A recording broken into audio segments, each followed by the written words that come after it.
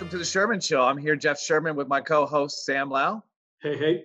And today we have a very special guest. We have Richard Bernstein. He is the CEO and CIO of Richard Bernstein Advisors. He founded the firm back in 2009 after spending a, a short little stint uh, on Wall Street, uh, over 40 years of experience. Uh, I remember reading a lot of the stuff you did as the chief investment strategist back at Merrill. Um, not, in addition to that, you have numerous accolades. We won't get into that. We don't have enough time, first of all. Uh, but also, I think what's interesting to a, a lot of our listeners and, and viewers, and, and, today we're on YouTube again if you want to uh, watch this uh, with our beautiful faces. Uh, but he wrote two books uh, Style Investing, a unique insight into equity management, as well as Navigate the Noise, invest, investing in the new age of media and hype. But what's very interesting is you donate donate all the profits of those proceeds to charities. So absolutely, it's very very commendable. And I mean, what what better way to kick off a conversation today than start about talking about navigating the noise? so, um, you know, w- why don't we talk about that to to begin with, and just uh, the new age of media and hype. Uh, what what prompted you to write that book first of all, and how applicable are those lessons that you learned or what you're trying to convey in there to to our investors today? Oh wow. Well, well, Sam and, and Jeff, thanks thanks so much for the invitation. It's great great to be with you today. You know, Jeff, I think um, I wrote that book 20 years ago, actually almost 21 years ago, which is amazing. And it was right around the tech bubble, and I was very concerned that investors were taking their eye off the ball, right? They weren't looking at fundamentals anymore. They weren't looking at earnings and cash flows and interest rates and all the things that really determine asset prices. Um, they were they were looking at hype, right? And I, I remember one of the lines that I used when I was at Merrill Lynch at the time was that I didn't understand how buying a green pepper on the internet was technology, but building a fighter plane was not right? There were all these weird things going on, and it just didn't make any sense. So I, I what I, I ended up concluding that it was that the, the that there was all this hype, there was all this noise going on, and people weren't weren't looking at fundamentals. And what the book tried to 21 years ago, what it tried to focus on was look, building wealth for an individual is not all that hard through time.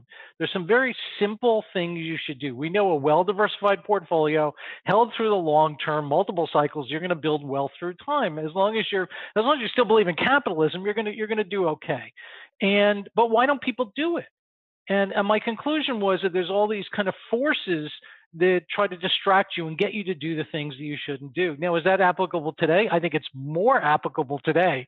Mama, Oh, gee, I mean, it's like ridiculous today where you know people are are trading on Robinhood like fiends and and have forgotten what what the point is to the financial markets and how to truly build wealth and how it's a, a slow and steady process that you can actually master, but you know people just don't do it.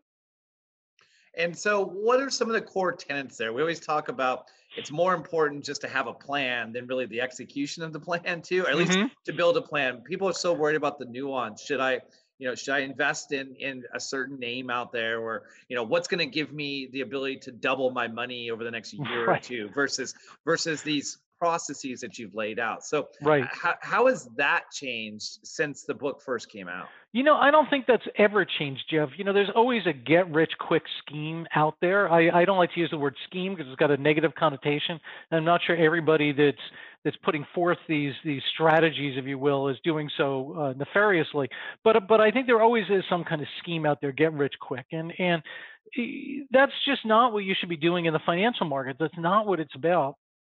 And um, you know, I don't think that. Well, here's the, Jeff. Here's the way that I, I describe it. I used to teach in the grad school at NYU, and one of the questions I used to ask the MBA students every semester was, I would start and I would say, "What's the difference between the stock market and a horse race?" And I would, I would, you hope an MBA student would be able to answer that reasonably well.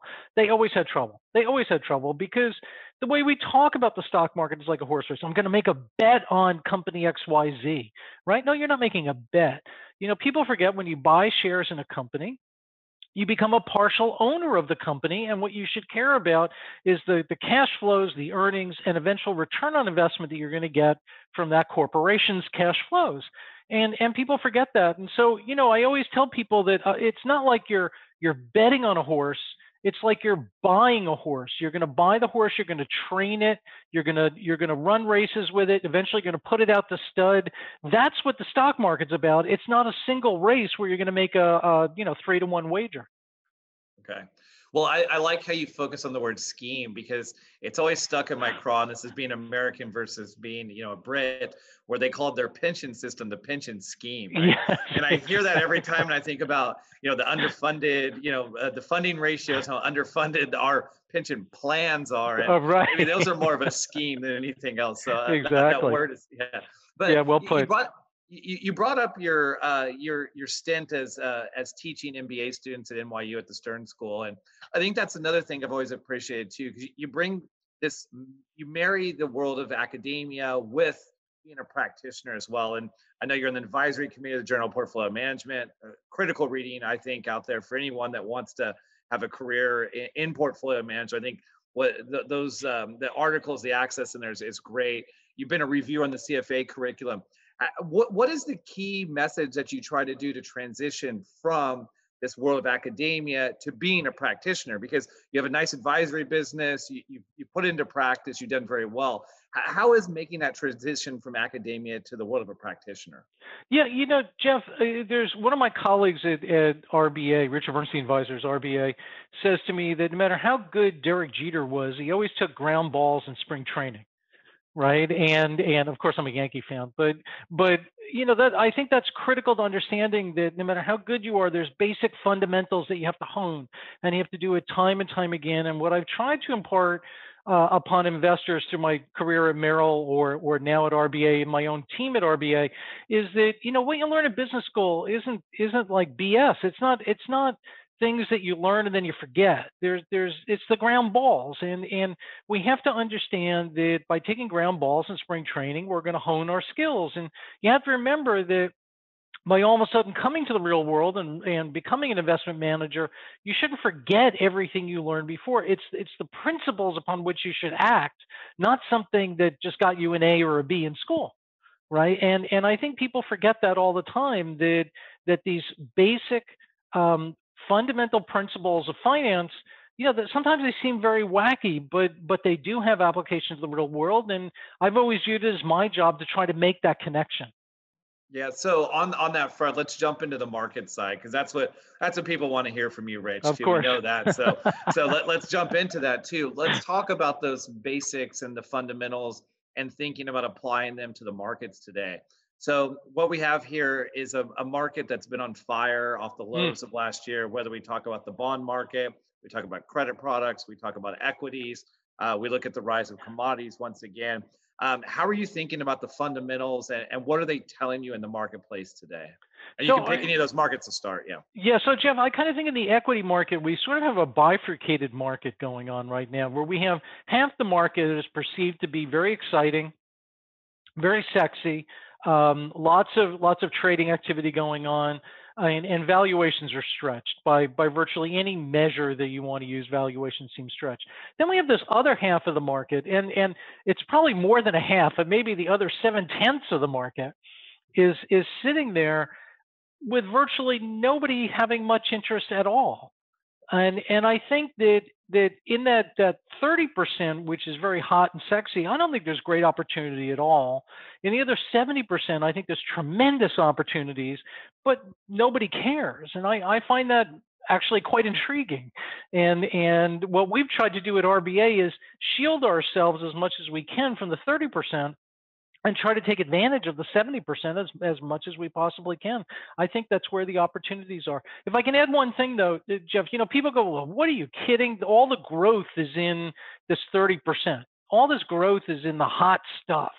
And my answer to that is maybe it is, maybe it's not. But when you're an investor, you're not buying the story you're investing and, and the valuation of your investment has a huge impact on the return you should expect. And the example that I always love to give is that during the tech bubble, you know, 98, 99, 2000, there were tons of promises made about how technology would change our lives. And it did. In the next decade, virtually every promise that people said in the tech bubble came true except the tech sector over that decade was the worst performing sector in the United States. The worst. It was down in absolute terms for the decade. And so people forget that it's a story might well come true. It doesn't mean you're going to make money in the investment. And and uh, I think that's an important point uh, for any individual investors that are watching this right now. I think I think uh, I remember from last summer. I think it was you that put out. Uh, I was watching something you were doing, and you had said something along the lines of, "If you buy these certain stocks, and they were the the, the sexy ones, right? The mm-hmm. Fangums, and you said if you if you buy them right now and you're buying them at these multiples, you have to be extremely bearish on the world. Yes right? Yeah. I think that was you, right? That you said that, was that me. too. Absolutely. And, and, it stuck. It stuck with me, and I was like, I, I never quoted you on it, but I just was like a highly respected strategist. You could you could read through it, and and so uh, well, I think that's interesting. Maybe you can explain to some of our listeners what do you mean there? Because they're sure. saying, wait, wait, if I buy the FANGs and and these, you know, uh, what had been the Robinhood stocks, you know, that were very mm-hmm. popular pre- prior to this year, um, if buying at those multiples made you extremely bearish, it's like, wait a second, how's that reconcile with the narrative that was created? So maybe right. you could elaborate. So, so the way you know this goes back to work that we did all the way back in the late '80s, early '90s when I was at Merrill, and and back then there was a question that nobody could answer, like what was causing the cycles of growth and value, large and small, all these other things. Everybody knew they existed, but nobody really knew why they occurred and, and how you could try to play them. And, and so we kind of set out to try and figure that out. And what we, what we concluded way back then was that the profit cycle was the main determinant, not the economic cycle, but the profit cycle. And that when profit cycles peak and fall over, leadership in the marketplace gets very narrow. The markets become very Darwinistic, right? It becomes survival of the fittest.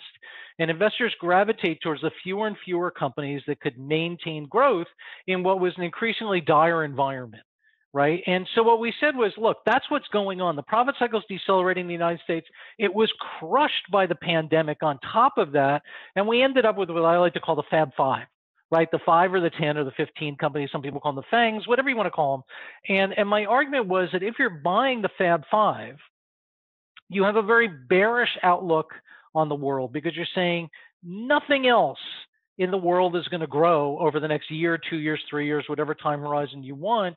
And therefore, it's worth it to me to pay these super high multiples for this very few number of companies that are actually going to grow. In other words, the scarce resource, right? And if, if growth is a scarce resource, you'll pay a high multiple and it's worth it. You know, like Bentleys are more expensive than Volkswagens, right? And there's a reason Bentleys are scarce, Volkswagens are not. And and but if they started producing Bentleys like Volkswagens, the price of Bentleys would come down. It's the same thing. When growth is scarce and the future looks bleak, you should be willing to pay a very high multiple for the few companies that can grow. Our view was it's just not that bad. And and that you know if you look at a year or two years or three years, the economy was going to come back to some degree, and we could argue about what that degree would be but it wasn't going to be that bad. And the opportunities were not in the FANG type names, the Fab Five names, because that was such a bearish view of the future. We couldn't imagine that that was the right outcome. No, and I, I, as I said, I took it to heart. And I forget where you're being interviewed, but I took it to heart, and I, I used it for a while. So, yeah, that's um, for for for our clients that have heard that, now you know the true source of. Uh, yeah, that's okay. Too. Um, but uh, on that note, too, we we mentioned your your other book too, the Style Investing, which is mm-hmm. I really thought was one of those seminal pieces of the style boxes, and really you know getting into those strategies. So, right. let, let's let's let's pivot into that a little bit and talk about the value growth kind of uh, story too. So we've seen right. growth outperform for so long. Um, what does it take for value to outperform again? Um, is it just mismeasurement? There's all these theories about it. Um, it's just out of favor. How are you approaching it as someone who's really thought about these different styles? Right. So this is this is akin to the period when we actually did all this research in the in the 89-90 recession value managers got their faces ripped off. I mean, absolutely destroyed in terms of performance.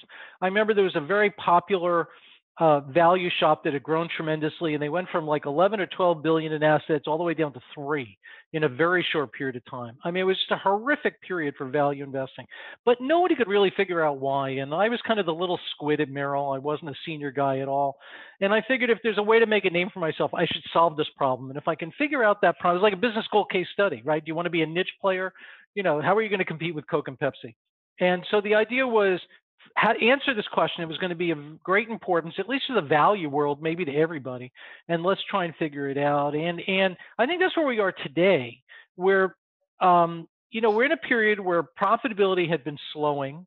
Uh, profit cycle really peaked in 2018. It had started to slow. People didn't really care, but the fundamentals were starting to slow. They weren't bad, but we weren't. We didn't have an accelerating economy, accelerating profitability anymore. It was starting to decelerate. Nobody cared. And then we hit the pandemic, and uh, as I said before, profits got crushed. The unfortunate thing to go along with that is that every marketing person and their brother has now taken that up and started talking about a new era of innovation and disruption. And my argument is there is no new era. It's just simply the profit cycle decelerating. Companies that can maintain their growth rates have maintained their growth rates. And we've had this Darwinistic approach to investing, and it, it's it's perfectly explained. You know, in a pandemic, this is kind of what should happen. And and but the other side is that that profits are are rebounding. They're going to rebound. I think everybody expects them to rebound. Why would you expect such narrow leadership? You know, the I always tell people, and this is so ridiculously obvious, the cycle by definition is determined by cyclicals so I mean, it sounds word, stupid, yeah. right? It sounds stupid, but it does work. And so we just went through a horrific period where profits got crushed. You don't want cyclicals in that kind of an environment. But if you think that profits are going to rebound, then you want to own cyclicals. You want to own value. You want to own small. You want to own low quality you know, these are all the things that, that people should be looking at. And, and as you guys know better than I do, very often the bond market leads the stock market. So the quality effects are starting have been picked up in the bond market already. You've seen spreads narrowing as people have expected, um, you know, uh, profitability to turn and cash flows to to uh, get stronger. That's that's kind of the cyclical environment. That's what should happen. It's just the pandemic made it seem very extreme, and unfortunately, the marketing people have gone off and created this whole buzz about innovation and disruption. Not not that I'm at all jealous of the people who have been able to raise such huge amounts of money in weeks, um, but I'm not sure that's the healthiest way to invest. yeah, um, some of those firms too may be larger than our combined firms uh, next, by the end of the quarter at, at the rate they're going as well. Exactly. Right? Yeah, yeah, exactly. Yeah. Well, it's it's funny you you mentioned uh, being a squid and not in a negative context like a vampire squid. I appreciate yeah. that. And then the other thing I appreciate was you bring up the idea of the new era, and it reminds me of of those um, quotes that you get from Bob Farrell, right? Where you know there is no new regime, right? Right. And exactly. so, so when we think about that and realize there is really nothing new under the sun, and you're looking to deploy capital for your your clients right now, mm-hmm. how are you thinking about the risk to the equity market, the risk to portfolios, or sure. I, I guess said differently, what do you see as some of the larger risks to overall portfolio allocation today? And I've heard people say, well, it's valuation on equities, well, it's valuation on bonds, how low yields are. Mm. What are hmm. you thinking about? What, are some of the key risks that you're trying to manage today? So, so for us, you know, I, I, I think uh, the way to think about the way we're structured right now and our portfolios are structured, it's we're not paying as much attention to the market per se, but rather to that bifurcated market that I mentioned before. So we are um, very, uh, I won't say very, we are, we have been reasonably aggressive in structuring our portfolios on that cyclical value side. You know, we are overweight energy. We've been overweight energy for quite some time. Overweight materials, overweight industrials, overweight small cap value, overweight financials, overweight uh, developed market mid cap and small cap stocks, non-China EM, you know, even even emerging market high yield has been in our portfolio for a while now. You know, as we're trying to take advantage of some of those those opportunities there as well. That's very different from where we were a year ago or a year and a half ago. Year, year and a half ago, our portfolios were all large cap, high quality consumer staples, healthcare, you know, dividend safe dividend paying stocks you know things like that. It's like it's it's like 180 degrees different from where we were uh, a year ago at this time and and i think that's just because the environment is 180 degrees away. Now you know are we worried about the market overall? Yeah i mean you have to pay attention to what could happen if the 30% really craters and starts dragging everything else down with it. We have liquidity problems and, and everything's dragging. Yes. So in our multi-asset portfolios, we're overweight equities, but not a lot. You know, our, our biggest portfolio, the benchmark is 50% equities. I think right now we're about 55 or 57% equity. Not where we were several years ago, where we really thought we were in the heat of a bull market, blah, blah, blah, and we were like 70% equities or 75% equities. Nothing like that. But but we do have a, a, lot of cyclicality in the portfolio, even though the equity weight is not necessarily that high overall.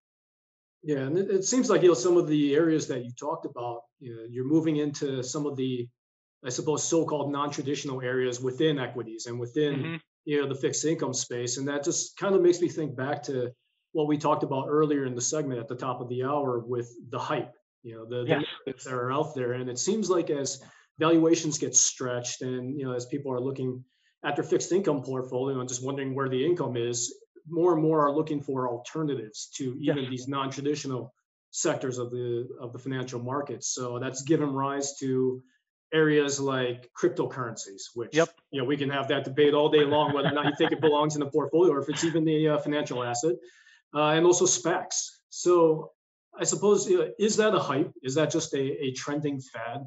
And uh, does it have a place in the portfolio in a you know in an investment portfolio today? Right. So so I would say, look, with cryptocurrencies, I, I don't, you know, could they have a role in in the economy over the next 5, 10, 15 years? Uh, maybe they can, maybe they maybe they don't. I, I honestly don't know. I I not quite sure anybody could know, but but um but I, I'll say I'm skeptical, but maybe it will. You know, I don't know. I'm pretty agnostic on that. However, I think as an investment today, I think for me personally, I think it's kind of loony. I, I I just don't think that you should be backing up the truck and and you know or you know you're one of these companies takes your your you finally have some free cash flow and you take it and you invest it all in Bitcoin. That to me does not seem prudent.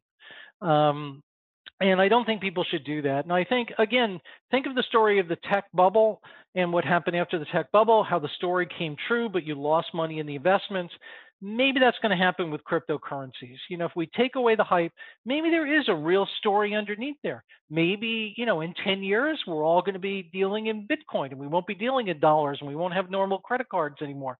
I think that maybe that is. I don't, I don't really know. But that doesn't mean I'm going to make money in Bitcoin by investing it today. And that's that's a very important difference. And and so there, the SPACs, um, you know, look, I'm I'm I, I think people have enough trouble understanding companies that do have fundamentals. Um, I don't quite understand why people would buy stocks of companies that are have nothing. I mean, call me crazy on that one. I mean, some of them are going to work, of course, and some of them aren't. But it seems to me that you got a leg up when there actually are fundamentals that you can examine. But you know, that that may be very old-fashioned. Yeah, I think I think we hit peak tongue in cheek in the SPAC market today, where the listing is a uh, there's a company that came out today. It's a new SPAC, and it's called just another acquisition company. And so it's like I, I think that was tongue planted firmly in cheek when they did that. But you know, I, I, I love tickers and stuff too to try to say it. So I was wondering, is it Jack? How do you how do you pronounce it? Trying to say they're a jack of all trades. I mean, I, I don't know. I, I thought it, I thought it was clever though. But yeah, you know, uh, one thing we haven't touched upon, you know, you've you've talked about the reflation and the profitability. Mm-hmm. Let's let's move the re and put an in in front of it because people have been discussing very significantly about inflation. We've seen the bond market perk up lately. Um, some of that's the Fed's footprint in there, kind of mm-hmm. uh, distorting break evens a bit. We've seen really continued fervor. We've seen fund flows. It's on everyone's mind. At least it's at least a discussion point. People are talking about roles of commodities and things again. How are you thinking about inflation? Is it transitory? Is it a new regime? I, I, I've already just broke Bob Farrell's rule. There is no new regime. uh, but the point being is like, are, should we be more concerned about it? Is that something you're thinking about in your portfolios as well? And if so, how are you trying to incorporate it into your analysis? Yep, Jeff. Jeff, it's definitely uh, something in our portfolios right now. And I want to say the the one difference, you know, I think most most people viewing this are probably saying, "Oh, well, Rich just said that. How high does he think inflation is going to go?" And I think that's the wrong question. I don't think you should ask how high inflation is going to grow. I think you should say, what's the probability that inflation could be higher and or last longer than people think right if, if the consensus is 2.1 or 2.2% inflation turns out to be two and a half to three you win right. if, if people think it's three and it turns out to be 3.3 you win you know I, I don't think you have to put a uh, decimal point forecast on that. You just have to say what's the probability. Take the over under, and right now I'd say we're taking the over. Um, so and and same with the longer. Why are we doing that? It's no one factor, right? I, I people just say, oh, look at money supply, or look at this, or look at that. For us, it's a combination of little events that seem to suggest that something's changing in the background. And the one that I've pointed to recently is that for many years, people could say, uh, you know, the United States was importing deflation, that, that import prices were rising more slowly than CPI. And therefore, the more goods you brought in from outside the United States, you had downward pressure on the CPI. And that was basically correct, except in the last couple of months now, we're starting to import inflation. Right. Core import prices are rising faster than core CPI. So you know, is it is it hugely meaningful? No. Is it is it changed? Yes, absolutely. And and those are the type of things I don't think people are paying attention to. I mean, Bank of America Merrill Lynch came out today with a forecast of uh, their forecast of of the output gap and it was kind of the first time I had seen, maybe you guys have seen it, but I haven't seen anybody actually put out a forecast of the output gap that actually shows various scenarios. And their baseline scenario says the output gap is going to close, and we could have something that we haven't seen in 20, 30 years. Again, a change, right? But to me, that's the important thing to look at that, that things in the background are changing. Not that we're going to wake up tomorrow, it's going to be 1979. I mean, that seems silly to me. Um, so we're we're we are definitely um, skewed towards more inflation than people think, and that's how our portfolios are constructed right now. Yeah. Yeah, I, th- I think the same way about it too. Uh, when we think about rates, it's the same thing. It's not the level that matters because it gets into the psychosis, right? It's that unexpected change Absolutely. that does it, right? And that's yep. the biggest shock. But I think Sam, you had a question.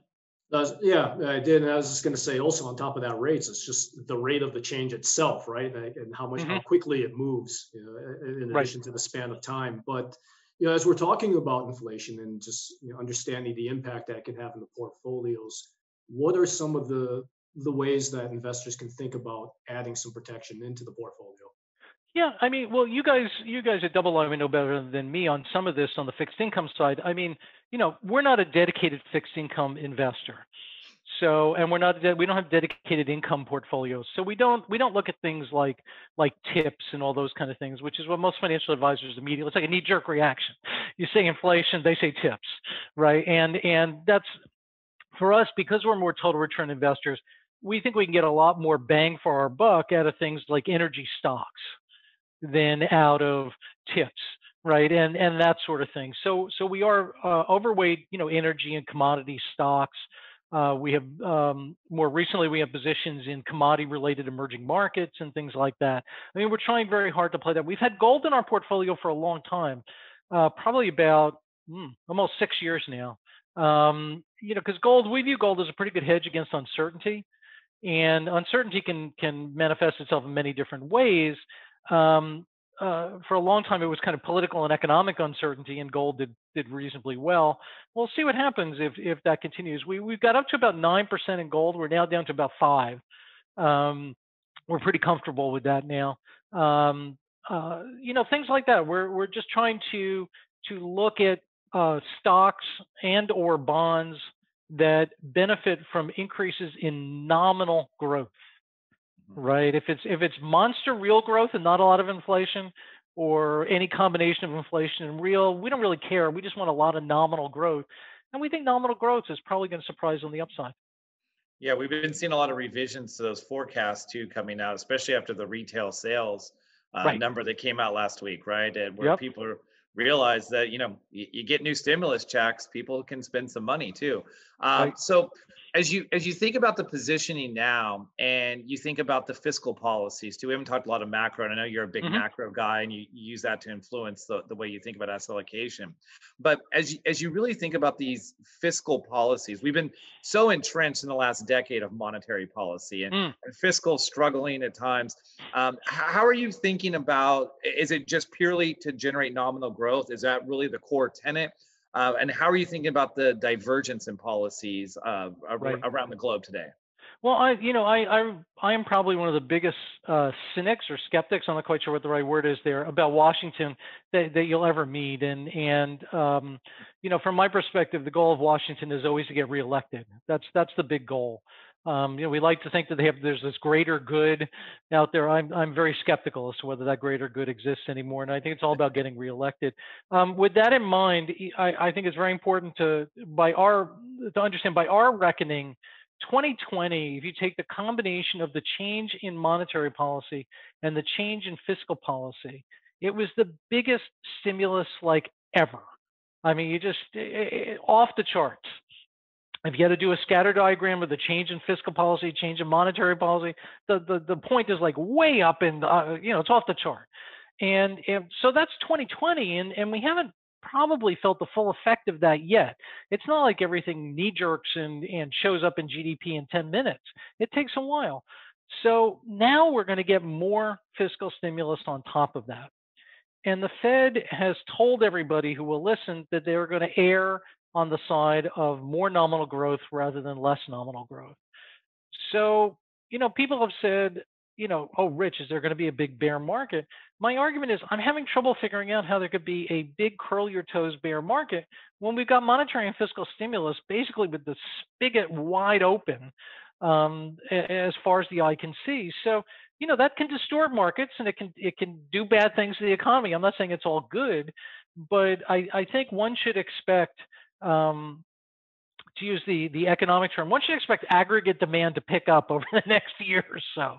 I mean, I think that's a pretty good guess that that's going to happen. And I don't think anybody in Washington, whether it be the Fed or whether it be on the fiscal side, nobody's going to stand in the way of that because if you stand in the way of that, you're heading right towards the 2020, 2022 midterms. I don't right. think anybody wants to get in the way of that. Well, that's that's the vicious cycle of, of Congress, right? There's always midterms in, uh, in addition to the the oh. kind of uh, four every four year type of election too.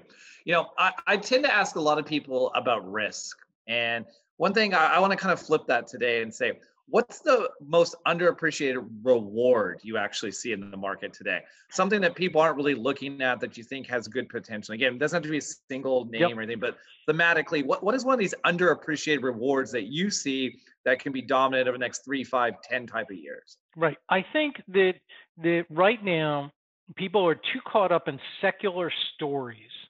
I think that's one of the big things in the equity market are these secular stories. And people forget that a cycle always gets in the way of a secular story. A cycle, a down cycle can accentuate a secular story, but an up, uh, can derail it from an investment point of view, not from the economic point of view, from the investment point of view. And I think that um, there's many that uh, secular themes that are ready to be derailed right now because most of them are long duration equity themes. Most people understand the concept of a long duration bond and how you don't want to own a long duration bond when interest rates go up people forget you have long duration equity strategies as well, and they don't tend to work real well when interest rates go up either. So here we have an environment where people are kind of in agreement that long term interest rates are more likely to go up than down, but yet they're still enthralled with venture capital. Right? That, that makes no sense to me. It's like, wait, that's the longest duration equity strategy you can think of, but yet you don't want to hold bonds. So you're, but you're going to, and that doesn't make sense to me. So what are some of those kind of cyclical themes that could derail the secular? Well, my favorite, which um, maybe in some circles is infamous, is traditional energy. Um, now I get I get the green I get you know that there's disruptive technologies and energy and that's all going to happen and we should um, from my point of view we should embrace it right? Why should we embrace technology to buy a green pepper on the internet but we won't embrace technology and energy? I, I don't understand that but be that as it may. Over the if you think about the combination of investors shunning traditional energy for various reasons could be esg could be they think there's no cash flow coming all these kind of things and the combination of the of the global economy heating up again i personally think that is the place where you have the greatest supply demand mismatch over the next one two three years. I, I really think that's a tremendous opportunity. I, i'm all over the the green themes. I understand that. That's really a 5 or 10 or 15 year or 20 year theme. It's not a 5 or 10 or 15 month theme and that's where I think people are missing out. They're forgetting about that those kind of relationships. So I would put energy at the top of the list. I mean, you know, the weather now is not doing anything to increase uh, energy uh, uh, supply, so right. that that makes it even even better. I, I know a lot of people are going to find that terribly distasteful, but that's not my day job. I'm, I'm reasonably dispassionate about a lot of those kind of things. Um, I think the um, I, I think to some extent there is a theme out there that investors kind of understand but don't really understand, and that is that the United States infrastructure is like a developing world infrastructure these days. I mean, we can't we can't compete on a global basis with the infrastructure that we have right now. I don't know how to solve that problem because government is is loath to get involved and create public goods and make things better, but I we are in dire need of things like the the you know the the the highway system, the build out of the highway system after after World War II and and during the Cold War and and things like that. And uh, as a country, we have like no interest in it. You know, we want to pave roads so you don't get a flat tire. I get that personally. I get that given that I had a flat tire recently from hitting a pothole. I, I understand that, but that's not really what's going to do it. It's it's it's a much needed thing, and and I, I, don't understand this kind of public-private partnership stuff. The whole thing. It's like this is one of our country's biggest needs. I think if you can figure out a way to invest in that long term, I actually think you'll do better than than um, Bitcoin or the Fab Five or something like that. I think I think you'll do a little bit better.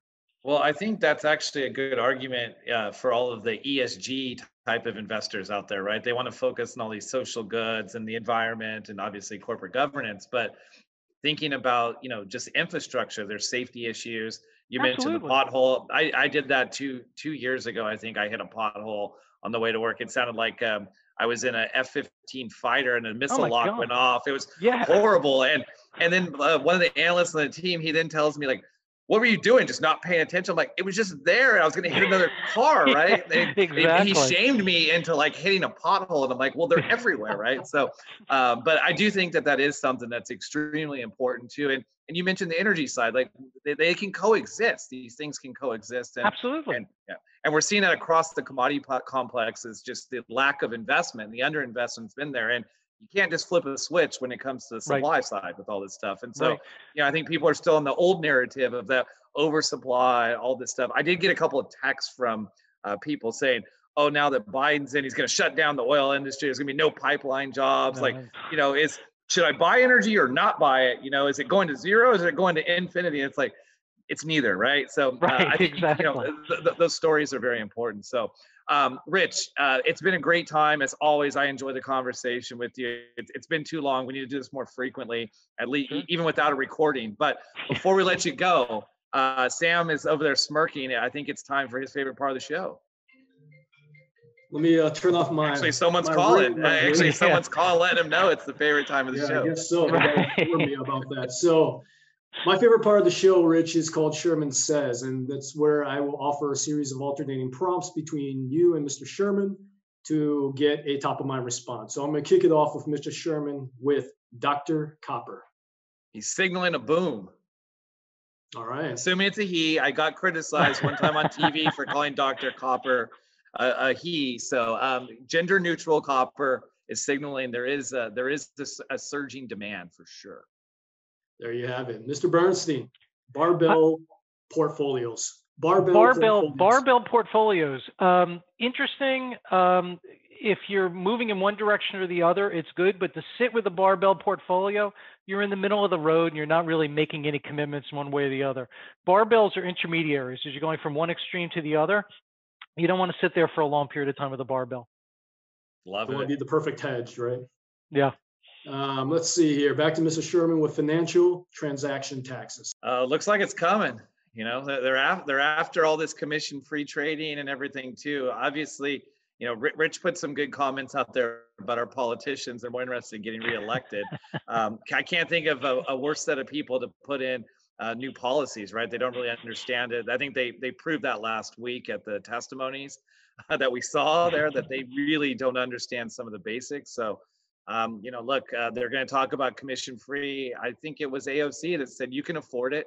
you know, to, to pay the tax, right? So uh, just because you can afford it doesn't mean you want to pay it either. So um, again, you know, they're they're going to look to pay the bills. It's either taxes on financial transactions, on the business, on you and me, on wealthy people. I mean, at some point, taxes have to be paid. So unfortunately, I, I think it's somewhat inevitable. Yeah, yeah. I mean, those hearings are always elicit uh, some laughter, but they're always cringeworthy, you know, for sure. So, uh, back to you, Rich, here with vaccination progress.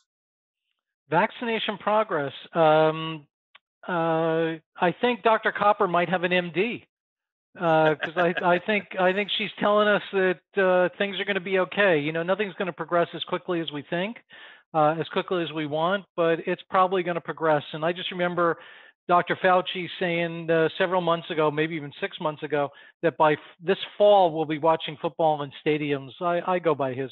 I, will I'll live live by him. As our head of our government team said this morning, he called him the Oracle. You know, Fauci. so you know, so I'll give shout out to our, our PM there for saying that. I was like, wow, that guy wants to be played by Brad Pitt. He's an Oracle. I mean, you know, this, he's killing it. You know, so go Dr. Fauci. Yeah. Yeah. Yeah. All right, back to you, Jeff, with first-time home buyer.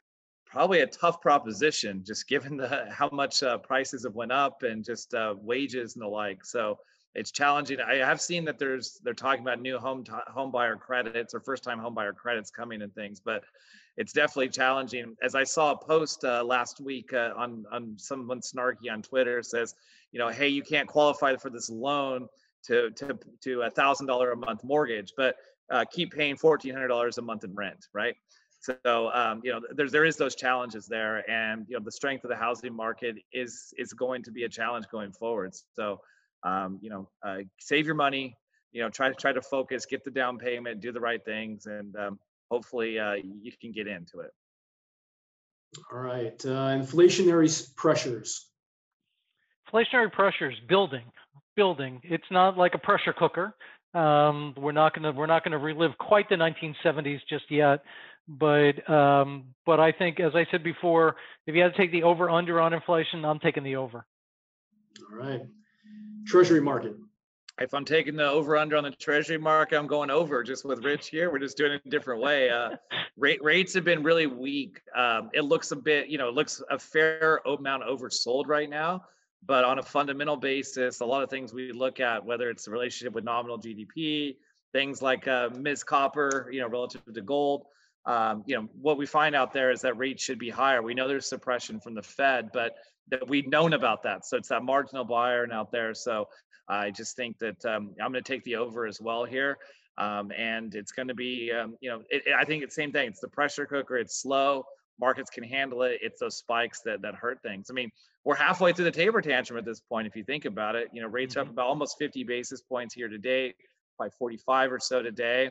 That's, you know, I think we did 110 during taper tantrum roughly or so, uh, which freaked everybody out. But um, it's been well, well absorbed at this point, and I, you know, I just don't really see it being a hiccup. It's just a repricing at this point. So uh, I'm going to take the over as well. All right, back to you, Rich, with vacation. Vacation. I'm. What is that? I'm not sure. I, I quite remember what a vacation is. Uh, um, yeah, I mean, they'll come back. I, I mean, I'd, I'd love to uh, to go on one myself, and uh, I'm sure a lot of people have cabin fever.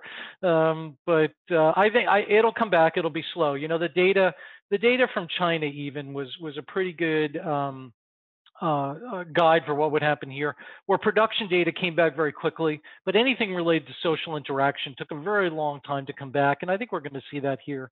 It's only human nature, so so I think well we will eventually be taking vacations again, yes, but yeah, uh, I I consider a vacation when I close the laptop shell, you know, for the day. That's my vacation. exactly. and then yeah, I, I buy the pent up demand argument, but it's one it's a one time thing. It's not like you're going to go on five vacations this year um, to do it. So yeah, exactly right. Exactly right. All right, so let's go into the final round with corporate credit to Mr. Sherman. Uh, it's in good shape. I mean, look, it, it, it, has a high debt burden. The service cost is relatively low. We know interest service um, is, is, is manageable in the short term, uh, which is what matters right now. Um, the, the, the fate of returns, as Rich was pointing out, is based on valuation, right? And the problem with the credit market is that they've extended out the maturities of this debt significantly over the last few years, uh, namely last year as well. And that means you have significantly more duration in these assets. So the fate of the corporate credit market goes with the fate of treasury. So if you don't like treasuries, you probably should rethink a lot of those investment grade bond, corporate bonds you own in the portfolio, or at least manage them a bit differently. So um, I don't think it's a default problem. I agree with Rich on this idea that you know we're going to start to grow again. We're going to usurp nominal GDP likely this year from where we were in DCIV 19, and there's a lot of positive attributes, but that doesn't make it a good investment. Um, and if that if that if that forecast comes to fruition, it's likely you'll continue to see a negative sign on the investment grade corporate returns for 2021. All right, and the last one goes to you, Rich, with New York City. New York City, where I where I am right here. Um, I, I, would say um, New York City is also bifurcated, um, as, as is the stock market. You've got the residential areas where I live, um, which are okay. I mean, they're not booming by any means, but they're okay. You know, you're actually starting to see uh, new restaurants come around. Uh, you can see them, re, you know, building and refurbishing the old restaurants that went out of business. You know, a lot of people said New York restaurants are the perfectly competitive marketplace that we saw in that we were taught in uh, elementary economics. And that might be true. And then you got Midtown, and Midtown is still pretty much a ghost town. And that's going to depend uh, a lot on um, how many businesses come back and work and everything else. I will tell you in our firm, what we have done is our lease was running out. We have negotiated a sublet from a company who believes that they are never coming back and brand new installation. They were supposed to take go in right before the pandemic started, and they basically never came in. And so we're saying, fine, we'll we'll take that off your hands at a discount. And uh, so we're locked in at a pretty good rent for the next six years, uh, trying to take advantage of what I think has been a very emotional decision and emotional coverage. The only thing I would add on top of that is that I think you know a lot of people have pointed to New York and to San Francisco as places that are doomed I don't think people have thought this through. I think cities in general are doomed if you believe that, right? Last I looked, commuting in Los Angeles was not exactly easy. Commuting in in El, in Atlanta is not exactly easy. You know, Atlanta is like the 38th biggest city in the country. It's not one of the top five or ten. Cities in general are going to have trouble. I don't think this is a selective thing that's just going to hit New York and and San Francisco. I think cities in general would be in trouble. I'm not that bearish. I don't think cities are going to be in trouble. Um, it will take a while to come back, but you know, I, I just think there's there's an emotional response here that, as a firm, we've tried to take advantage of. Makes sense. When when Lau said that, the New York City reminded me of those old Pace Picante uh, commercials too, where the guy's talking about his, his salsa not being from Texas, and there's a lot of different. It was New York City, yes, that was a good one. So anyway, Rich, um, I I always enjoy it. Like I said, it's great banter too. Uh, just love the love the passion you bring to it. So uh, for our listeners who aren't familiar with RBA and the likes, how can they get in touch with you? How can they follow uh, what you guys are sure. putting out there? So the, thank you, Jeff, for, for bringing that up. The, the best way for people to get a to get a hold of us is is look at our website. It's rbadvisors.com. rbadvisors.com there are there are several links on there, you know, like contact us and that type of thing. And it's got our marketing desk phone number, which I don't know off the top of my head, um, which is I should be prepared better. But um, uh, there's a marketing desk that's that's manned. People will direct you to the right to the right place, or you can contact us via the website. And uh, you know, it's it's got lots of good information up there. Okay, one point that we've been having an internal debate: How does one spell advisor? we've always done it OR. Yeah, me too. But we've been getting pushback. Our style guides now say ER, and I'm like, wait a second, this isn't um, right. You know, I uh, I've been trying to rebel, but you can't fight change, right? So yeah. RB advisors with an O, correct? With an O, correct, okay. exactly. Okay. Well, Rich, we appreciate the time you spent with us. Thank you so much. I know your time's valuable. Uh, for those of you that uh, didn't catch this on YouTube and want to see it, you can follow us on our YouTube site, youtube.com backslash DoubleLine capital. That's capital with an A, not an O. We're not a, we're not a monument uh, either, since we're on that. Uh, also, you know, SoundCloud, Stitcher, Spotify, iTunes, Google Play, all those great places that podcasts are hosted. You can hear this again. And so we appreciate the time. Uh, tune in uh, tune in shortly. We're gonna have another great guest. probably not as good as Rich, but definitely getting there for the high quality. So thanks again, Rich. Thanks, thanks for the time. Guys. We really appreciate it. Yeah, okay. pleasure being with you. Thanks so much.